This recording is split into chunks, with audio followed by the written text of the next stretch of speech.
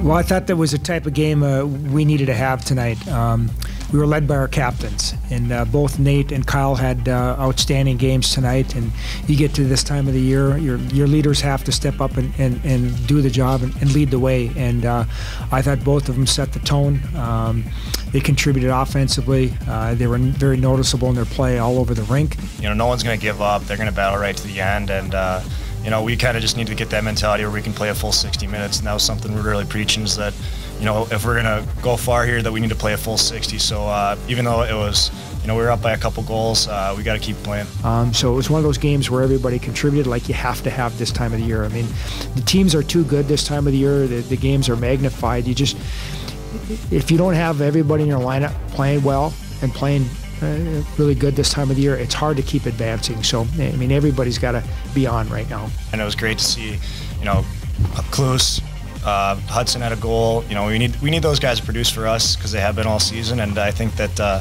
they really stepped up today and played well. So it's going to be good for us going forward that we can count on them and, and really, uh, you know, continue playing how we played all season. You know, with our team this year, it seems like we're it's kind of been a little bit the second half feast or famine. You know, we get one or two, or we get four or five and you know what, and, and so you hope that'll continue on to tomorrow night, where some guys that uh, you know feel good about themselves from an offensive standpoint, because you know, let's face it, when offensive players score, they feel good, and uh, you know, hopefully they can continue and, and, score a few tomorrow because you know we know we're not going to get seven tomorrow. Uh, we're going to have to win a two to one, three to two game, no matter who we play. Been really fortunate that uh, the regional is right here in our backyard, and uh, we got the best fans of college hockey, so and they're supporting us tonight, and I'm sure they'll come out tomorrow and do the same.